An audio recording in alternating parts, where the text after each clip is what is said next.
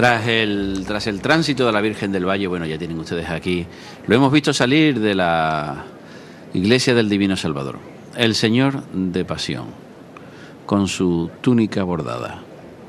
El Señor de Pasión caminando sobre ese paso, esa verdadera joya de la orfebrería que le cincelara Cayetano González. Con ese adorno floral tan similar al que hemos visto antes del Señor con la cruz al hombro, la cruz al hombro. de la Hermandad del Valle, de la Cofradía del Valle, los faroles, los grandes faroles de plata, con la cera de color rojo por el carácter sacramental de la Y hermandad. ahí vemos la calavera, ojo, ojo. la calavera a la calavera. izquierda de las imágenes. La calavera a los pies, el pecado del primer hombre, de Adán, ¿eh? la muerte que está siendo vencida por la pasión del más justo. Este año además vestido con la túnica de Patrocinio López del año 1869, una obra realmente prodigiosa, la túnica de las hojas de acanto, que le permite el dinamismo, señor. que le permite el dinamismo. ¿eh? Se Aquellos mueve la que- túnica. Aquellos que hablaban de rigidez, yo no estoy en absoluto de acuerdo. ¿eh? El- es un movimiento mucho más contenido, pero dignifica muchísimo la imagen y además eh, forma un, un- un todo. Es decir, esa túnica va jugando, la hojarasca, ese acanto va jugando con la decoración del paso de, de Cayetano González. Es un paso que es un auténtico retablo. un retablo andante que al fin y al cabo era lo que se pensaba, lo que se buscaba cuando se traslada el concepto del teatro, cuando se traslada el concepto de la imagen del retablo a la calle. ¿eh? Y ese concepto es el que se traslada mediante ese mínimo movimiento y toda la riqueza que estamos viendo ahora mismo. A ver, Reyes de la Lastra, el cromatismo de este paso, la plata, el dorado, el rojo de los codales, la mezcla en las flores, el morado de la túnica, el dorado del La- bordado. La mezcla por sí sola funciona divinamente, pero yo también le diría a cualquiera que lo vea que disfrute, aparte de la talla, aparte de la túnica, el mismo paso en sí, la cantidad de detalles que tiene, los angelitos que tiene arriba. Es un entretenimiento de puro, de detalles continuos, que el paso de Virgen también tiene algunos angelitos, incluso uno con una lengua afuera.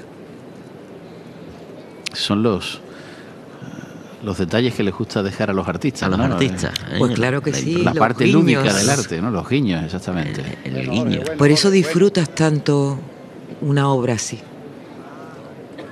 Paso, señor Roldán, que fue, vamos, si no discutido, si fue eh, en su Bueno. momento un paso de plata para un Cristo. Paso de plata que tiene además un origen en el incendio del, del antiguo de paso, frente. el paso anterior. Entonces se plantearon un material que no fuera un material combustible.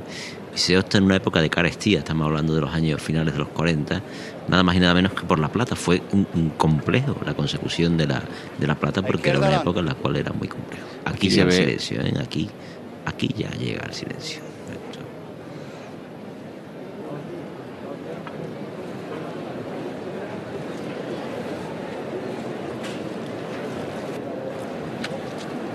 Derecha adelante. A la derecha adelante. Bueno. Pararse ahí.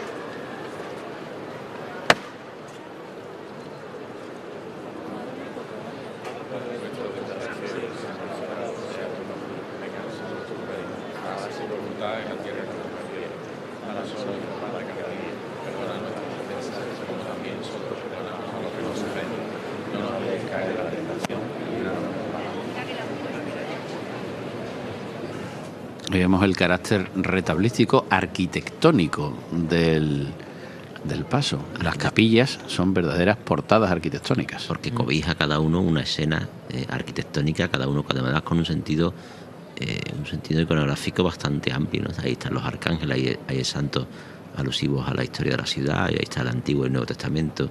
Y qué curioso que hemos ido, un momento en el cual hemos ido a rezar a los, a los propios costaleros, las calaveras. ¿eh? Eh, Adán ¿eh? está ahí eh, representado, la muerte. La hermandad me han dicho. por la vida. En la hermandad hay alguien que me ha dicho que la calavera posiblemente sea real. Yo le confirmo que la calavera es real. Es real. es real. O sea, hay alguien que dio Fíjate, hay uno procesionando sin saberlo. sin saberlo, ¿eh? sin saberlo.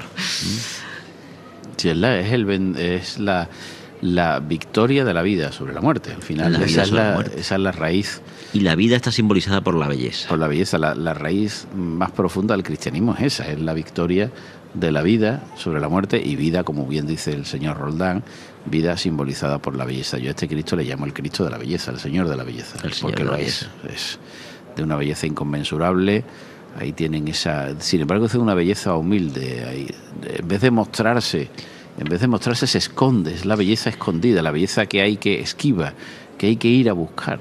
porque es la mayor de las bellezas, en la que sale no de lo que vemos en apariencia. Esto no es la apariencia, la túnica es apariencia. El concepto de la imagen es otro. El concepto de la imagen es interior. Qué hermoso que del interior del paso haya surgido un rezo. Eso es un paso. ¿Eh? Es decir, en estos tiempos en los cuales parece que el concepto de la fe o el concepto de la oración es un concepto que se esconde, aquí se expande. ¿eh? De dentro de un paso ha surgido una oración, que al fin y al cabo es lo que está transmitiendo la imagen en la calle. ¿eh? La imagen en la calle está transmitiendo la oración hacia el exterior. Y por eso hay comunicación entre el público y la imagen, en este caso el Señor Es de se Pasión, ve- o sea, la que sea. Se ha visto en ese plano anteriormente, Reyes de la Lastra. La Sí, gente, la gente también forma parte de la escena. Totalmente. Eh, insisto, una performance. Hay mucha gente que ataca de arte contemporáneo estas costumbres y es que no tiene sentido, porque participa todo el mundo, aunque no seas creyente. El hecho de disfrutar todo esto ya es una maravilla. Y si además lo eres, pues mejor que mejor, ¿no? Hasta el que intenta censurar esto, o hasta el que en tiempos pretéritos intentaba quemar estas imágenes, participa de esto. No hay- no- Porque le está dando el valor. Vamos a ver, el, el que le da más valor a una imagen es el iconoclasta. Porque el iconoclasta cree que quemando la imagen lo quema todo. Lo quema todo. El devoto no le da tanto valor a la imagen No, como el porque iconoclasta, porque el devoto detrás. sabe que hay algo detrás y que lo importante es lo que está detrás, o lo que está dentro, o lo que está más arriba. Pero el iconoclasta piensa que, la- que todo acaba en la imagen, que todo acaba. Por eso cuando dicen, cuando intentan insultar, diciendo esto es un trozo de, esto es un trozo de madera, pues no. Pero No. sí, también es un trozo También de es madera. un trozo de madera, pero no es solamente Evidentemente, un trozo de madera. Eso es como decir que tu hijo es un trozo de carne. Pues De carne, no, señor. pues no. Pues no, señor, no es un trozo de Y carne. aparte ese trozo de madera es arte, Es arte, es arte con mayúscula, ¿no? independientemente del credo. Eso es, eso es indudable. ¿Qué le diría a Montañés hace tantos siglos cuando se hablaba en su época una expresión hermosísima que era asombro de los siglos venideros? Será asombro de los siglos venideros. Que en siglos venideros y en milenios venideros, como es el que estamos viviendo, todavía podía sobrecoger una imagen de madera de aquella Y una frase que utilizo mucho de Jorge Luis Borges, el poeta argentino que empezó a escribir en Sevilla, publicó sus primeros versos en la revista ultraísta Grecia. Por cierto, es el poeta, el, el escritor, poeta y narrador preferido del Papa Francisco. Borges tiene una frase que es que define muy bien la Semana Santa de Sevilla. He dicho asombro donde otros dicen solamente costumbre. Hay mucha gente que se queda en el costumbrismo, en la carcasa, en lo banal, y no mira esto con los ojos, con la mirada limpia del asombro. Pues el que pierde la capacidad de sorprenderse se está muriendo ya. y el que pierde la capacidad de emocionarse. De- Claro. Es que el asombro es eso, es la Es eso, emoción. es la emoción. Es la emoción. Afortunadamente, los que se siguen asombrando, los que se siguen emocionando, son los niños. Y cuando nosotros nos emocionamos, nos volvemos en esos Eh. No te quepa la menor duda. El Señor de pasión, levantado, alzado a pulso, muy despacio, agarrándose a la cruz, sobre el paso de plata de Cayetano González, está entrando en la campana. Bueno.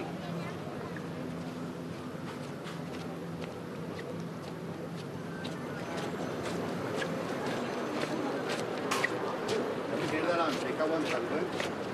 Bueno. Venga de frente.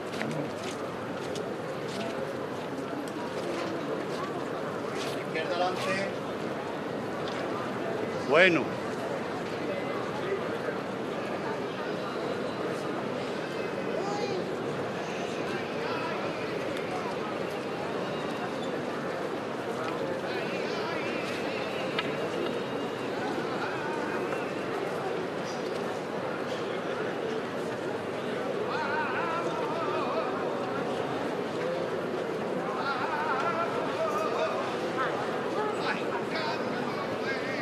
Derecha adelante.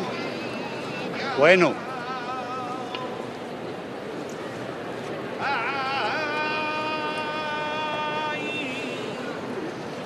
La izquierda adelante. Más a la izquierda adelante. Más a la izquierda adelante. Bueno.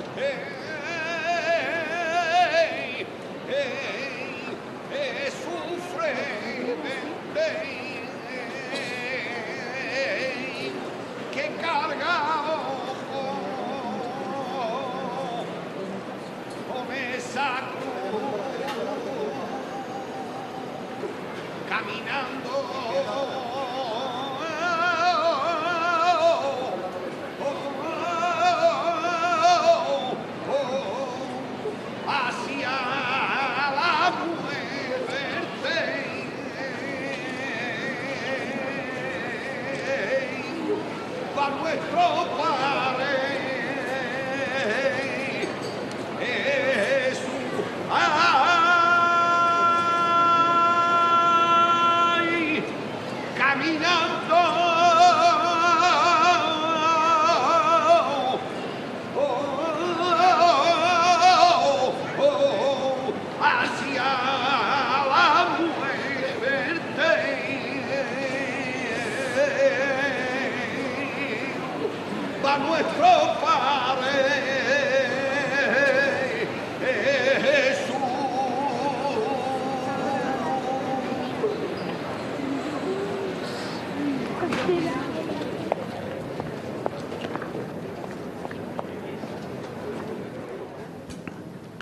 Ha sonado la saeta en la campana en la voz de nuestro querido amigo José Luis Andújar.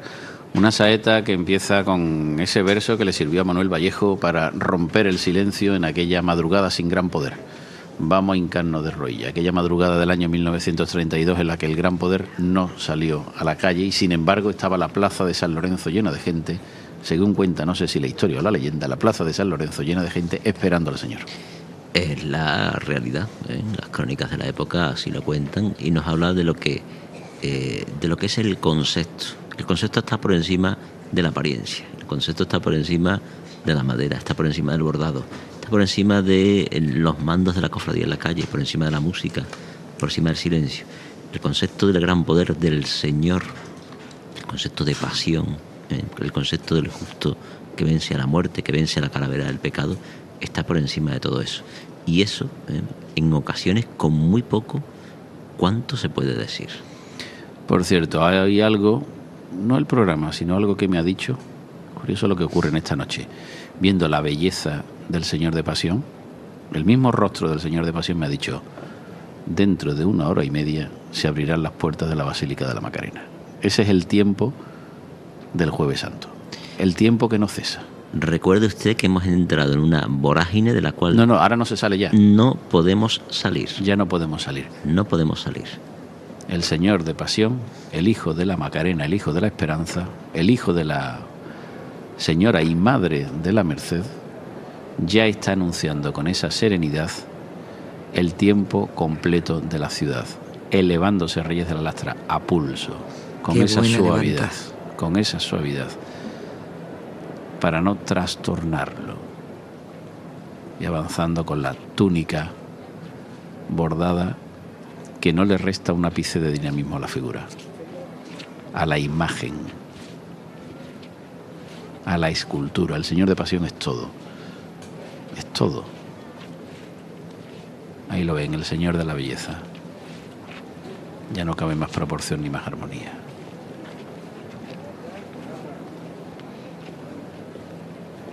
¿Te fijas en la imagen, Manuel Jesús? Parece que estás en el siglo XIX. Es Sin una duda, imagen del sin 19 duda. ahora Estás viendo ¿eh? hay una estampa grabada muy hermosa con esa misma, con esa misma túnica y estamos viendo al Señor en sepia.